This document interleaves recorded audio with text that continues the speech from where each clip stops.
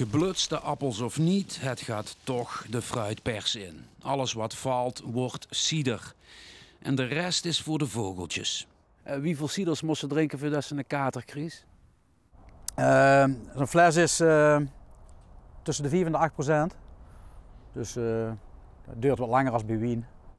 De traditionele drank uit Engeland, Frankrijk en Spanje wint terrein in Nederland. Sinds 2015 maakt Marcel Jansen cider.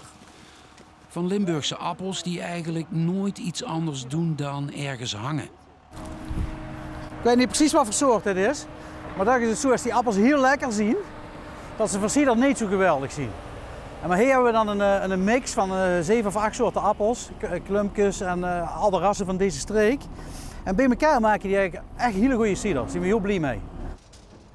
Een boomgaard in Rijkold. Marcel heeft zo'n 50 adresjes als deze in de hele provincie. En daar mag hij de oogst uit de bomen schudden. Jaarlijks levert dat ongeveer 6.500 flessen op. Een hobby is dat niet meer. Dit begint al langzaam serieus werk te worden. Ja, ja, ja, gelukkig wel. Dat is eigenlijk waar we, waar we hier naartoe willen. Dus, uh, maar ik kan hier nog niet van leven. We kunnen er nog niet van leven, nee. nee, nee. Dus nog wat, uh, wat te veel werk voor en de aantallen nog wat, uh, nog wat te weinig. Dus we hebben er een kruidenkwekerie hebben we nog altijd. We zien een streekwinkel in het openen. En dit is ja, iets wat hopelijk op termijn een, van de, een van de pijlers van ons bedrijf gaat, gaat weren. Ja. De malaise waar appeltelers in zitten, het speelt niet in dit verhaal.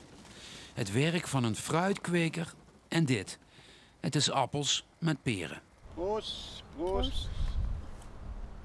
Je er niet riek van, maar wel gelukkig. Ja. Heerlijk. Helemaal.